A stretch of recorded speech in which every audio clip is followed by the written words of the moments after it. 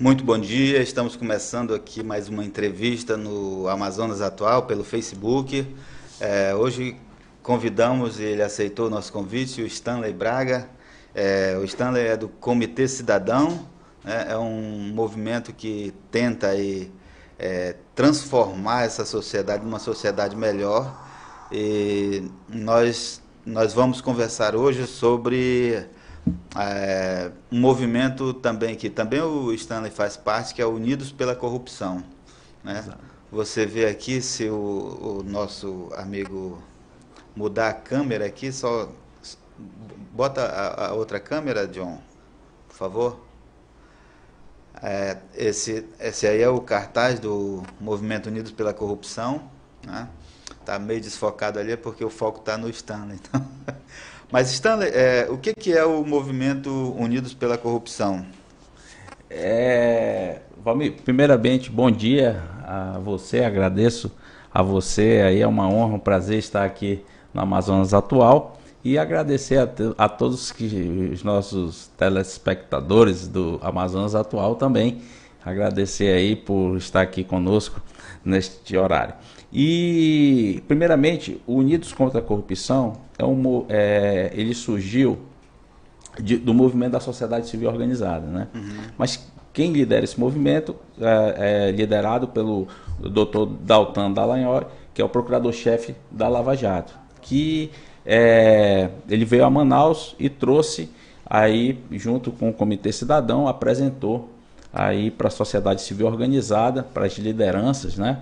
É, e, e, e, foi uma, um evento aberto na Procuradoria-Geral do Estado, no qual é, esse movimento é, são 70 medidas, né, elaborada pela Fundação Getúlio Vargas e com apoio de, é, de procuradores, é, é, pessoas da sociedade civil, no qual elaboraram 70 medidas que elas ah, têm a intenção de blindar o país contra o mal da corrupção.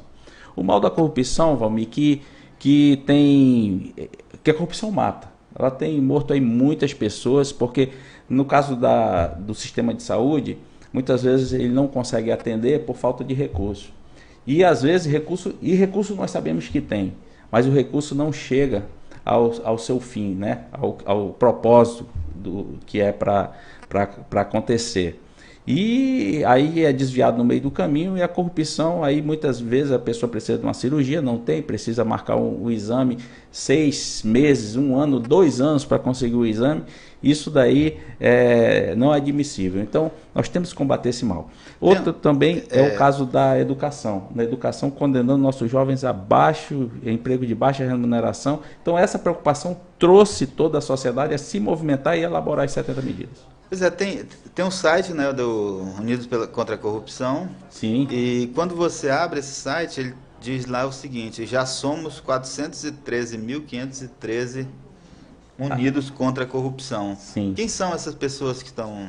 É o cidadão comum. É, é, sou eu, é você, é os nossos telespectadores, é, pessoas, é, cidadão comum da sociedade que não aceita esse mal da corrupção e quer participar do movimento. Aí entra no site www.unidoscontracorrupção.com.br e aí é, é www.unidoscontracorrupção.gov.br Pois é, mas é, esses org, 413 mil aqui são inscritos? É, a pessoa se inscreve lá? Se inscreve. Entra no site, aí vai lá e assina. É muito simples. É muito uhum. simples. E isso daí, aí lê, lá tem uma síntese das 70 medidas, que são 12 blocos, condensado em 12 blocos, que aí lá fala o conceito de cada uma, mais ou menos, é, dá uma ideia de, do que é, cada uma aborda. Lá também você consegue visualizar os candidatos né, que estão concorrendo à eleição e vocês têm aqui vão, é, é um, um chamamento aqui para o eleitor. Vamos nos unir para eleger um Congresso com passado limpo, é, compromisso com a democracia e que apoia as novas medidas contra a corrupção. Exatamente. Como é que o eleitor pode fazer isso? É, primeiramente, é cobrar do seu candidato, tanto a deputado federal quanto ao Senado, é, o compromisso dele com esses três quesitos, né? É, passado limpo, é, é, compromisso com a democracia e apoio às 10 medidas, às 70 medidas contra a corrupção. Então, é ele perguntar do seu candidato. Ele quer, vai votar, tem um candidato a federal. Questiona ele, ó, você tem um compromisso com as 70 medidas? Você diz, ah, eu não conheço ainda. Então, é aí ele entrar no site e lá tem um, um, um ícone lá um, no, no, no, site para eles é, é, assumirem o compromisso e vai ficar lá. Então, todos que entrarem no site vai ver se aquele candidato tem o um compromisso ou não. E também nós vamos fazer um, um, um, evento público, né, um convite, nós estamos fazendo para aqueles que atendem os três quesitos, junto com o arcebispo de Manaus, Dom Sérgio Castriani, arcebispo metropolitano de Manaus, do, o, membros do Comitê Cidadão, o pastor José João Mesquita, é pastor da Igreja Presbiteriana, membros da sociedade civil, como um todo, nós vamos é, promover um momento com os candidatos que interessarem e vão também fazer esse compromisso de forma física, assinando um documento e, e, divulgando nas mídias sociais. É interessante esse movimento que ele, ele engloba empresários, é, pastores de igrejas evangélicas, é, é, padres da igreja católica, bispo, arcebispo está nesse movimento. Então é um movimento que tenta aí abarcar todos as, os setores da sociedade? Sim, sim. Até porque, Valmir, nós estamos é, no mesmo barco chamado Manaus, chamado Amazonas e chamado Brasil. Então, nesse momento, nós temos que colocar de lado aquilo que nos distancia e focar naquilo que nos é comum, né? Até o próprio Papa é, Francisco, ele, ele, ele, fa, ele, na sua primeira encíclica, ele colocou que nós temos que cuidar da nossa casa comum. E qual é a nossa casa comum? É a cidade de Manaus, o estado do Amazonas e o, a nossa, e o nosso país, o Brasil, nossa nação. Então, é, nossas diferenças nós temos que deixar em casa e, e focar no que nos é comum. E é assim que nós promovemos essa agenda. Stanley, quando a gente fala de corrupção, a maioria das pessoas pensa logo nos políticos, né? Sim. Porque parece que o foco ali da, da corrupção são os políticos. Mas eu, o próprio site é, do Unidos contra a Corrupção diz o seguinte: a corrupção, sabemos melhor agora, é um problema sistêmico, local, nacional e global. Sim atinge o público e o privado, ofende a ética, o direito, a economia e a política. Não é problema só de, do judiciário, Ministério Público ou legislativo. É vírus que se prolifera no comportamento de quase todos. Né? Enfrentá-lo exige abordagem que fortaleça instituições, aprimore os mecanismos de prevenção com a transparência e o controle social e ofereça os instrumentos necessários à responsabilização de corruptos e corruptores. Chama a atenção essa questão aqui, que é um vírus que se prolifera no comportamento de quase todos. A gente tem, eu, eu até já escrevi alguns textos a respeito disso, né? A, a corrupção ela é um, é um mal que atinge quase todas as pessoas e nós praticamos é, muitas vezes atos de corrupção sem perceber que ela que é um ato de corrupção, né? Para a gente que está cometendo aquele ato, está praticando aquele ato, a gente acha que não é, né? Como é que se muda? É, é, é, eu, eu, a minha tese é de que a gente tem que mudar o comportamento social como um todo e não apenas bater nessa tecla de que precisa é, é, mudar os políticos para a gente ter uma sociedade melhor. Né? Exato, Valmir, você está corretíssimo. É, esse vírus, quando coloca, é, é, ele tem contaminado a sociedade como um todo, né? nos contaminado. Né? Então, é, primeiramente, para inibir a corrupção, nós precisamos de leis mais duras, mas não pensando só no setor público, porque como é um vírus e é, um, é, e é cultural hoje o problema da corrupção, nós também temos corrupção no setor privado. Né? Então, estas leis aí, as novas leis, as 70 medidas, ela vem com uma nova proposta. Penalizar também, por exemplo, aquele comprador de uma empresa privada que cobra propina para comprar. ali adquirir o produto. E, e, e aí essas novas leis tanto penalizam o, o, corrupto, o corrupto quanto o corruptor. Então, no setor privado, não apenas no setor público, porque é uma forma de reeducar a sociedade. Porque a corrupção, ela, ela nivela pelo umbigo, né? Ela nos torna um país de medíocres. Porque além de matar na saúde, além de condenar nossos jovens a baixo em empregos de baixa remuneração por, por educação de baixa qualidade, e nós perdemos a capacidade, nosso jovem perde a capacidade de competir com jovens de outros países, de outros estados, nós também temos um, um problema muito sério, que é a questão de as empresas que ganham, por exemplo, a licitação, tanto no setor público e setor privado, são as empresas do conchavo. Não são as empresas que investem em pesquisa, em tecnologia, desenvolvimento. Então, essas empresas são penalizadas. Né? E as que ganham a licitação são as que são dadas ao conchavo. Então o país fica um país medíocre, né? um país que não, não preza, não zela, não, não alavanca a grandeza, não alavanca aquilo que agrega valor e riqueza. Hum. Pois é, e como é que a gente muda essa situação? Qual, qual, seria, por exemplo, o compromisso dos órgãos de controle aí? É, olha, o, em cima dessa, da, da, das leis é fortalecer né, os órgãos de controle. Fortalecer é, o Ministério Público Federal. Aí tem o, a, o critério de escolha dos, do, do Judiciário, muda a, a, o critério de escolha também dos ministros do Supremo. É, a, a, mudança de critério de escolha dos órgãos controladores, como o Tribunal de Tribunal Contas, de Contas do, dos, dos estados e municípios. Então, assim, é dessa forma que nós vamos é, mudando toda essa lógica que hoje, em vez de combater, muitas vezes fomenta a corrupção.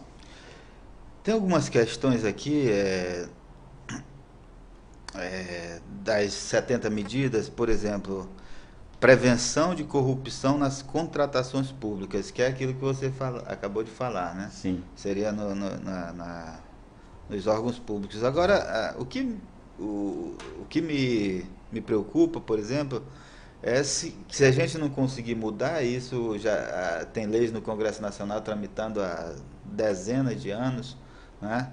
É, mudança, por exemplo, na escolha de conselheiros, porque hoje o conselheiro do Tribunal de Contas é indicado pelo governador, né? ou pelo governador ou pelos deputados. Isso. E, de fato, na verdade, no fim das contas, é o governador quem indica. Sim. Se a gente fizer uma análise lá, tem, tem né? Brasil afora tem muitos conselheiros que não têm nem competência para assumir o cargo. Verdade. Se não mudar isso, a gente não consegue avançar. Né? É, tem agora entre as medidas tem umas que eu, eu considero é, muito utópicas, né? por exemplo, a regulação, não é essa aqui, transparência, responsabilidade e democracia partidárias. Sim. Como é que você muda essa cultura dos partidos que hoje a gente sabe que está é, nas mãos de pessoas que não têm nenhum compromisso com a sociedade? Valmir, nós sabemos muito bem que hoje os partidos têm seus cacicados, né? Sim. E aqui em Manaus, no Amazonas, nós sabemos que tem partido que que tem donos, né? Donos porque estão na presidência, quando não é ele, é o filho, ou quando é filho, é parente, e, e fica sempre no, no, no, no meio, no, no, núcleo duro, né? Muito reduzido. Então, é, o que é que acontece? Eu, no meu ponto de vista, uma das medidas que, que ajudaria a quebrar tudo isso, a democratizar, por exemplo, se se coloca na lei que o mandato para presidente de partido seria de dois anos, isso é uma hipótese é, de dois anos, sem direito à reeleição e sucessão de, de parentes até, a não sucessão de parentes até é, primeiro, segundo, terceiro grau. Então você já quebraria ali e, e isso, esse processo ajudaria a oxigenar as lideranças. O Brasil vive é, uma crise de liderança. Você vê aí é, no âmbito nacional é, as opções de, de, de para votar você não vê lideranças que, que realmente conseguem convergir a sociedade para hoje, hoje o que motiva mais é um revanchismo ideológico, mas nós temos que ter lideranças que consigam aglutinar e trazer é, a sociedade para sentar na mesa com suas representatividades e falar do que nos é comum e dos problemas, entendeu? Então assim, nós não temos muito disso, é porque os partidos que eram para promover isso não, são verdadeiros balcões de negócio. Entendeu? E aí é, essa lei ela, ela vem a, a ajudar a oxigenar esse processo. Aqui fala de, de, uma lei eleitoral mais efetiva. Né? A lei eleitoral no Brasil ela muda de dois em dois anos. Né? Sim. Para cada eleição você tem uma mini reforma eleitoral que adapta a legislação eleitoral para as vontades dos que estão no, no, no poder. Isso. É possível a gente ter uma lei eleitoral mais decente? Sim, sim, sim. É possível se, se nós quisermos, né? A sociedade. Por isso que, é, é, Valmir, eu acho assim. É, que muitas vezes a gente fica num papel confortável de criticar nas mídias sociais. Né? A gente fica criticando, criticando, mas nós mesmos, muitas vezes, ficamos só no patamar da crítica e sem uma visão é, mais ampla, analítica e com uma contribuição é, é uma propositiva. Então, assim, é, se nós começarmos a mudar isso, o cidadão assumindo o seu protagonismo e participando desse processo, eu acho que nós vamos depurar muito a é. política brasileira. Agora, nessa eleição particularmente, você está seguro de que, por exemplo, o, o cidadão Stanley hoje, olhando para os candidatos, tem é, uma perspectiva de mudança aí, de, de, de escolher de acordo com aquilo que está orientado pelo, pelo, pelo movimento Unidos pela Contra a Corrupção? A gente tem candidatos adequados para votar? Olha, é, por incrível, incrível que pareça, é, é, Valmir, aqui no Amazonas ainda nenhum candidato a deputado federal e a Senado se comprometeu publicamente com, a, com estas medidas. E assim, aí fica a pergunta, por que ainda não se comprometeram? Será que eles acham que não atendem os, os três é, quesitos, que é passado limpo, compromisso com a democracia e comprometimento com as 70 medidas para defendê-la caso cheguem ao Congresso Nacional? Então, estamos convocando é, os, os candidatos, né, tanto a deputado federal quanto ao Senado, a, se quiserem nos procurar, quiserem entrar diretamente no, no site e fazer inscrição, quiserem nos procurar para nós marcarmos uma reunião junto com a sociedade, os representantes da sociedade civil, para oficializar esse comprometimento, estamos à disposição também. Uhum. É, tem uma questão aqui que é a redução do foro privilegiado. Eu, eu fico desconfiado com essa redução do foro privilegiado. Eu comecei a desconfiar quando todos os parlamentares no Congresso Nacional passaram a defender o foro, uhum. o fim do foro privilegiado. Né? E a gente vê o seguinte: quando isso ocorre, os parlamentares passam a ser julgados nos estados, onde eles conhecem os magistrados, são amigos, não sei o quê. Isso. E a coisa parece que não funciona do mesmo jeito que funciona lá. Sim. A tramitação desse processo pode demorar mais ah, pode haver favorecimento por conta dessas relações mais próximas né, do, do, do, do, político com o poder judiciário. Não é, não é um temor essa questão do foro privilegiado? É, mas você sabe que aí existe a, a possibilidade de recorrer e chegar até as outras instâncias, né? Então, é, é, e, e, com, com, com a, a, fiscalização mais nu, dura, fica mais difícil também daqueles conchavos que nós sabemos, né, da, e que muitas vezes ocorre, que algumas vezes ocorrem, né? Uhum. Autorização da prisão preventiva de parlamentares. Hoje o parlamentar não pode ser preso preventivamente? Hoje, é, com autorização do Supremo, né? Mas o Supremo, você viu no caso lá do, do Aécio, que foi que aconteceu, né? Uhum. Então, é, é, e do próprio Renan, teve a prisão, aí foi lá e, e aí ele se escondeu foi, e acabou resolvendo. Ao, e, e, se fosse um cidadão comum, seria preso. Então, assim, é, a proposta muda esse critério, né? Uma, de uma, é, leis mais claras para esse processo e que não, não, não, não faz do parlamentar um super-homem, né? é, traz ele mais para o âmbito da realidade do, da, do, do cidadão comum. Uhum. É, ficha limpa para servidores públicos. hoje, na verdade, hoje já existe, né? O, o cidadão para conseguir um emprego público ele tem que ter um, ele não pode ter condenação e tal. Né? Então isso já é uma medida que já existe. Sim. E seria mais, seria fortalecido isso. Seria é, leis é, que englobaria tanto o município, o estado e federação, é, porque nós sabemos que hoje ela existe, mas não é tão efetiva, né? Uhum. Vamos aqui então, nós temos aqui um pacote que as, as, as 12, as 70 medidas, elas se resumem nesses 12 blocos de, Sim. de, de medidas, né? Os primeiros seriam sistemas, conselhos e diretrizes nacionais anticorrupção. Ah, isso aqui as esquerdas sempre falam dessa, dessa questão dos conselhos, né? Da, é, isso funciona em algum lugar, Stanley? Vocês têm informação de que funciona bem em algum país a, é, esses sistemas de, de controle? Olha, é, é, os países nórdicos, eles trabalham com, com conselho, né? ali Suécia, aquele, eles, eles têm esse, essa, é, eles têm esse costume. E eu acho que a sociedade tem que participar.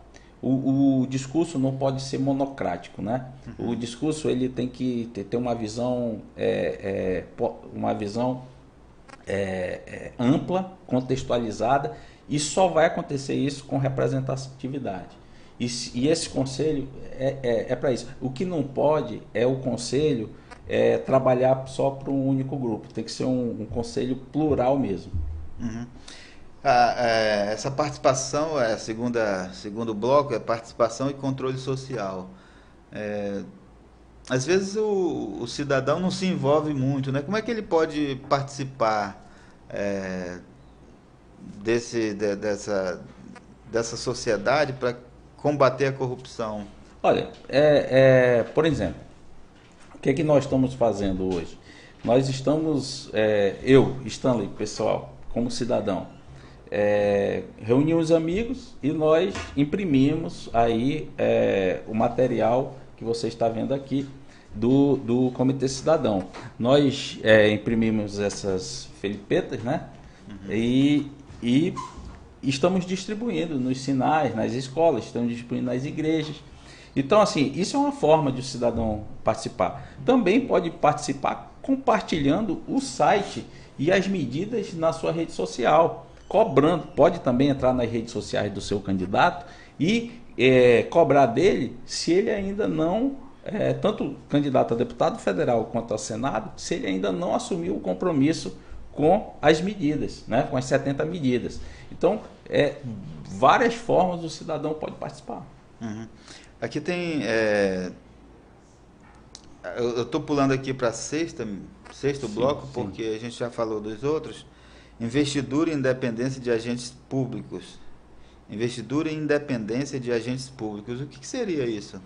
Por exemplo, o, hoje o Tribunal de Contas ele tem independência é, é, em relação ao, ao, ao, ao ator fiscalizado?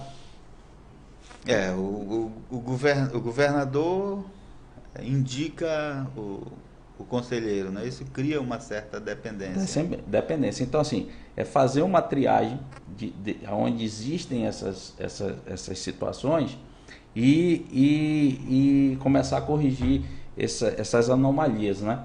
E aí você vai dando independência para que eles realmente tenham, um posicionamento fiscalizador e a independência é, é, ajudá-los a, a arguir com mais é, é, imparcialidade.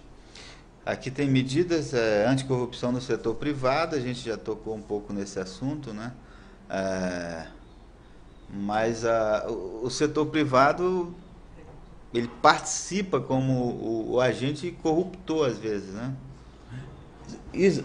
mas muitas vezes ele é achacado, né? Muitas vezes ele é forçado a isso. Se não fizer, não faz. Então, assim, é, é o cachorro correndo atrás do rabo, né? Nunca, nunca. É, é, quem, é o, quem, quem colocou o primeiro ovo, né? ou foi o ovo ou foi a galinha que nasceu primeiro? Não, que eu digo então, é o seguinte, assim, a, a, é, é, e, e, isso precisa ser combatido. A né? gente sabe, por exemplo, que é, há em, em, diversos, diversos estados e municípios empresas que se unem para participar cartel, de né? licitação, né? para participar de licitação, e aí é, aquela aquela ajuda cruzada, né? Eu, eu, essa, eu participo dessa, tu participo daquela. dessa, tu ganha essa, tu ganha aquela, então você já apresenta ali as propostas, às vezes com um valor superfaturado. Isso. Né? É, quer dizer, é, é, isso que eu estou falando, as empresas participando dessa corrupção que, como eu falei no início, é uma corrupção que não atinge só o, o agente público, ela está ela tá en, é, entranhada né? ali na cabeça do cidadão. Né? O difícil o difícil no Brasil, na minha opinião, é você tirar essa coisa da cabeça do cidadão. Aquele cidadão que acha que é, furar uma fila não, é, não tem problema nenhum, que é, desobedecer a lei, é. desde que ninguém esteja vendo, não é problema nenhum. Né? Exato. Né? Ficar com o troco de alguém que se enganou ali no troco não é problema nenhum, entendeu? pegar o celular de cima da mesa ali quando pessoa, o dono do celular tá, não está olhando, não é problema nenhum, não é, né? É um problema menor. Isso acontece muito, você está no, no, numa fila do almoço, numa fábrica, né? Ali não é um, um caso de um ladrão que está ali dentro da, Mas é um. O, o cara deixa o, o, o, aparelho de celular dele em cima da mesa, dando sopa, né? Como o pessoal diz, e o caboclo pega ali, bota no bolso e vai embora. E fica por isso mesmo, ele acha que isso é normal. Enquanto que em países é, é tem outra cultura, né? Vocês, é, as pessoas saem para o almoço e deixam ali tudo em cima da mesa, quando volta está tudo normal. Né? Isso. Então é, é, essa essa coisa essa, essa essa coisa dessa corrupção entranhada na cabeça das pessoas é que eu acho que a gente precisa desmontar. Desmontar e, e, e desfazer essa ambiência cultural da corrupção, né? Que, que desde a base, né? Nós temos que promover é, é, e promover a educação com princípios e valores, né? Porque muitas vezes a educação, a, a educação, é, porque aí dizem, ah, mas esse papel é da família, esse papel é da igreja. Concordo. Mas hoje é, a questão, é, eu acho que tem que haver um reforço também porque, por exemplo, é, na nossa época nós estudamos OMC, é, EMC, OSPB, entendeu? Isso tudo nos ajudava a ter uma, não só uma educação de informação, mas uma educação de informação. E que eu acho que, que é o que está em, em, em, déficit hoje, é essa formação para poder é, é, é, referenciar a informação. Eu, eu acho que a, escola ela precisa também mudar, né? A sim. família tem uma responsabilidade muito sim, grande. Sim. É, se essa família não participa da escola ali, né? A, a, gente sabe que há problemas de estruturação das famílias também. Uhum. Mas a escola ela pode ser um ambiente é, de, de cidadania. Né? Cidadania. Né? mas o problema é que no Brasil tá todo mundo achando que o aluno não pode fazer nada, né? É. Além da, de, de, estudar. É. Eu tava, isso... pois é, o, o, Fantástico mostrou, acho que um ano atrás, a, a situação de uma escola, das escolas no Japão, escolas do ensino primário, né? As crianças ali tinha a, a, o, a merenda escolar era feita dentro da sala de aula. Então, e servida pelos alunos. Né? É batia a campa para merenda, os alunos iam organizar a mesa, né, desmontar aquelas carteiras é, organizadas para o estudo e montar, montava uma mesa. Aí, tinha o pessoal que montava, tinha o pessoal que ia servir e tinha o pessoal que depois fazia a limpeza na sala. Tudo pelos alunos. E organizava tudo, tudo feito pelos alunos. Aqui, se você for fazer isso, os pais já vão. Isso. Os pais acham que o aluno não pode fazer. É uma humilhação, né? É. Então, é, são são medidas de cidadania que o aluno vai aprendendo a ter respeito pelo outro. Aprender né? a servir né, o outro. E, a... e, e, e, é isso que falta na sociedade é, é, é, brasileira. É a questão do servir. Às vezes você vai conversar com. Uma, um, um, dia desse, é, nós participei de um, de, um, de um congresso, o AMAS, que é que você esteve lá também, Sim. que discute para discutir ali com os pensadores e representantes da sociedade civil o futuro econômico é, social da Amazônia. E aí é, estava lá uma doutora é, brasileira que é professora da, da Universidade de Michigan. E aí ela disse que veio a um congresso para é, ela teve uma ideia de trazer um congresso para discutir a Amazônia com o, os, os com universidades americanas, empresários e tal. E ela veio e procurou um secretário.